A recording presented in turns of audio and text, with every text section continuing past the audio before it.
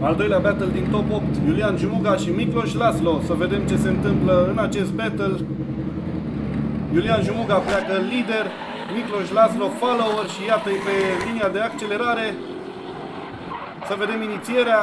Iulian Jumuga foarte bine și Miklos Laslo face spin imediat după inițiere. Acum Iulian Jumuga trebuie doar să-și continue trasa din calificări pentru a obține un rezultat de 10-0 în această primă tură. Iată-l pe Iulian Jumuga fără probleme aproape de linia de finish și uh, un rezultat de 10-0 pentru acest prim battle. Iată, vedem și reluarea. Miklos Laszlo spin imediat după inițiere.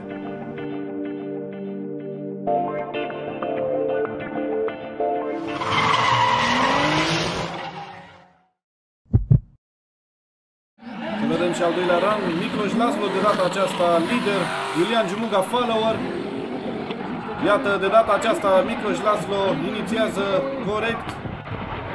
Iulian Jumuga nu face un pressing foarte puternic, merge, să spunem, safe în această tură, are un avantaj de 10-0, nu trebuie să facă pressing pentru a, a obține o calificare în top 4. Și iată, ne apropiem de linia de finish. Merge mai departe Iulian Jumuga.